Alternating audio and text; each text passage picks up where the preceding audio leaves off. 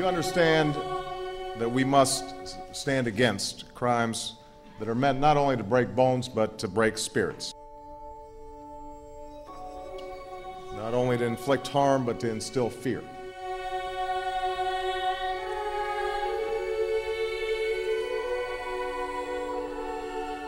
In the most recent year for which we have data, the FBI reported roughly 7,600 hate crimes in this country.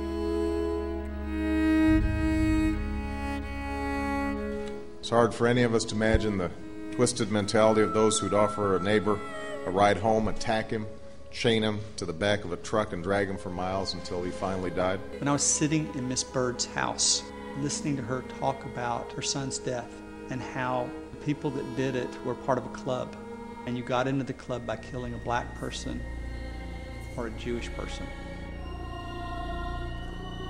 They stopped at the convenience store. They had a cooler full of beer. Uh, they had plenty of cigarettes. When he first got in the back of the truck with these guys, he did it voluntarily. And James Byrd uh, would go, he was drunk himself, and a pack of cigarettes and cooler full of beer, he would have gotten in voluntarily. The witness that saw him sitting in the back didn't give us any reason at all to believe he was there except by his own free will. Hey! Left. No, no. Come on. We got beer in the back.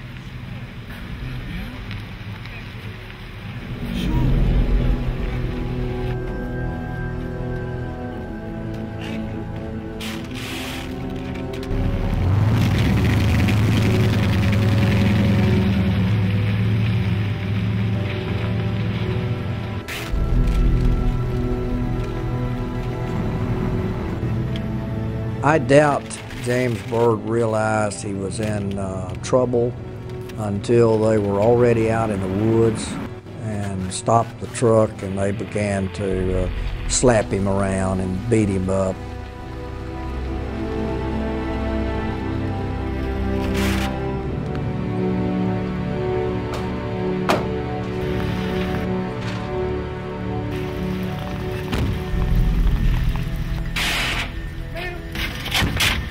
Why the hell we stop? It's taking a break. We eased on around that, did some photographing, and got to what we call a scuffle scene. And then it was obvious there'd been a big fight or something took place there. The grass was beat down. It was apparent to me that it wasn't going to be a hit and run accident, that it was going to be a murder. Um, it was a sickening feeling. Uh, I knew this little old sheriff was in trouble. You!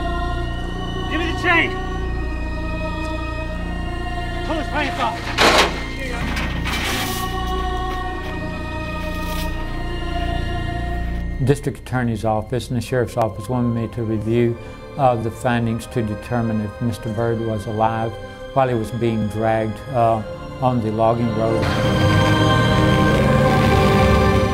As he was being dragged along the uh, surface of the roadway, the elbows were ground down.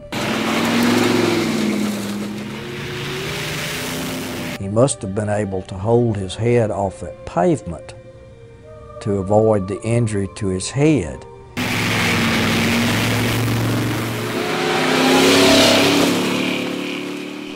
Over the sound of hatred and chaos, over the din of grief and anger, we can still hear those ideals, even when they are faint, even when some would try to drown them out. At our best, we seek to make sure those ideals can be heard and felt by Americans everywhere. Uh, this afternoon, I signed into law the Matthew Shepard and James Byrd Jr. Hate Crimes Prevention Act.